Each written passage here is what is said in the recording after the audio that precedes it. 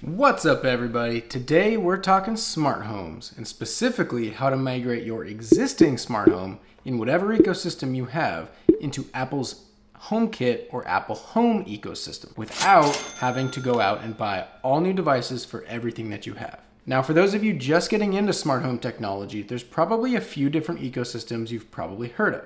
There's a Google Home, there's Amazon Alexa, there's Samsung SmartThings, there's uh, Apple HomeKit, which we're going to talk about today. The problem is most devices across all these different ecosystems don't really work that well with each other. Some of them do, some of them don't, but nearly none of them work very well with Apple HomeKit. A little backstory before we fully dive into this is I'm currently running Samsung SmartThings as my uh, ecosystem of choice to add different devices into. I create the automations within Samsung, but then I use Google Home to run all my automations with my voice or with the Google Assistant. And to give you an idea of the types of devices that I'm running, basically I've switched out almost all the switches in my house for smart switches or dimmers. And I've been using the GE or Enbrighten, it's the same one, just different branding, uh, GE or Enbrighten Z-Wave switches and dimmers. I've also got different door sensors, window sensors, motion sensors, buttons, all these different types of things, and they've all hooked up very easily via Z-Wave to the Samsung SmartThings. I also have a couple various little random devices here, the robot vacuum, some LED strips, uh, under cabinet lights in the back. But again, they all hook up very easily to Samsung SmartThings, which then connects to Google Home, and I can do everything that I need to with these two things. So you may be wondering, why the heck are you trying to transfer everything over into Apple?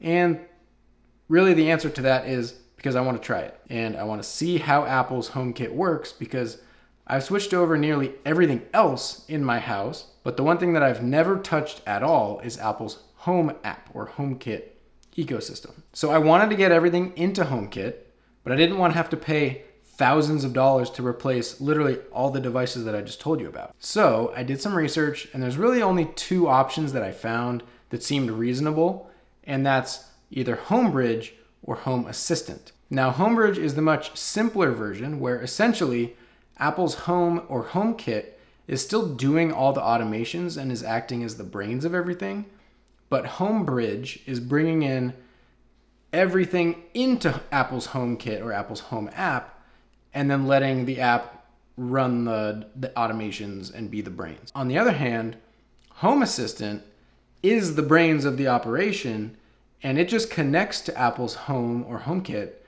and lets Apple's Home app be the controller for all the different things that Home Assistant is doing. So as I mentioned, Homebridge is the much simpler of the two options, so that's what I'm gonna start with. I'm gonna try that, and if that doesn't do everything that I need it to, then I can try Home Assistant. But for now, I'm going to show you how to switch over to Homebridge. The first thing that you're going to want to do is you have to actually set up a server. The easiest way to do this is to buy a Raspberry Pi. Now I got a Raspberry Pi 4. I have a whole nother video explaining how to build it, how to set it up. So after you have your Raspberry Pi built, now it's time to actually install the Homebridge software onto it. So the first thing you're going to want to do is take your micro SD card, plug it into your computer, and then you're going to want to open the Raspberry Pi Imager app.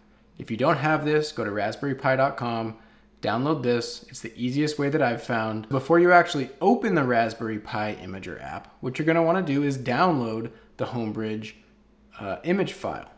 So you're gonna go to homebridge.io. Then on the homepage, just a little way down, you click on the official Raspberry Pi software link.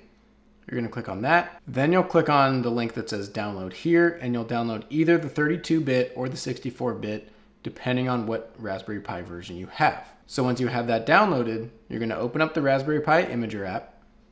Again, make sure your micro SD card is connected. You're going to select which version Raspberry Pi you have, in my case, the Raspberry Pi 4.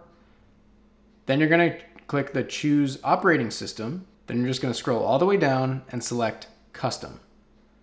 Now what you're going to do is browse to that file that you downloaded, select it, and then choose your micro SD card that is for your Raspberry Pi, and then you're simply going to click Next. Now you have the option to change some settings that will get installed as the operating system. This includes Uh, if you're going to use a Wi-Fi Raspberry Pi, then you can put the SSID for your network and the password in there. You can do a, a few different things, relatively simple. You can play with it. And then once you're done choosing the settings that you want, click next again, and then it's gonna install. You let it write to your SD card and voila. Homebridge is now installed on your SD card and all you have to do is if you have the Raspberry Pi on Ethernet, make sure you plug the Ethernet cable in first before you turn on the Raspberry Pi. That's the directions that it says. I don't know if it makes a difference. But plug in the Ethernet, plug in the micro SD card, plug in the power, let your Raspberry Pi boot up. It might take a couple minutes to actually connect to everything. And then what we're gonna do is actually connect to the Homebridge server via your browser. So the next couple steps will actually be a little bit different for everybody, mostly everybody, unless you're using the exact same router that I am. But essentially what you need to do is find the IP address of that Raspberry Pi that is now connected to the network and powered on. So the way that I have done it is I'm using an Orbi router. So I just log into the Orbi router via my uh, computer browser, scroll down through the devices until I find the Raspberry Pi, copy that IP address, literally just paste it into the address bar of the browser, click enter, and boom. Instantly, Homebridge pops up, and then from there, there's just a couple more steps. And the first of these steps is actually to connect Homebridge to your Apple Home. So what you're going to want to do is on your phone, you will go to the Home app. I guess it doesn't have to be your phone, whatever, tablet, computer, whatever. But go to the Home app, click the plus, click Add Accessory, and then scan QR code. And you're going to scan the QR code that is on the Homebridge home screen as soon as you opened it up. What that's going to do is instantly connect Homebridge to your Apple Home and boom. Now the magic is basically done at this point, and then from here, what you're going to be doing is depending on what smart home devices you want to add, you're going to go to the plugins page of Homebridge, and you're actually going to just go find the different plugins that match the smart home devices that you're using, and just click install, install, install. And what that's going to do is connect all the different things that you have and bring them into Apple's Home app or HomeKit. And from there, we're done. Again, all this was pretty simple. I know I might have made it sound complicated, but it took me all of three minutes to do all of this.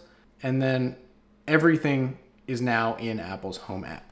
So if this is something that you're looking for, this is a very easy option.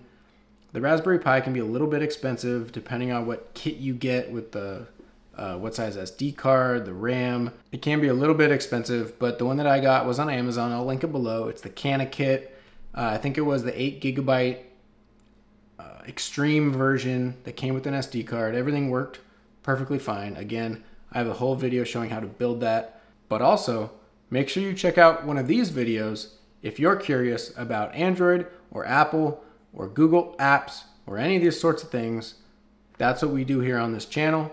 Please be sure to subscribe, and I will see you in the next one. Peace.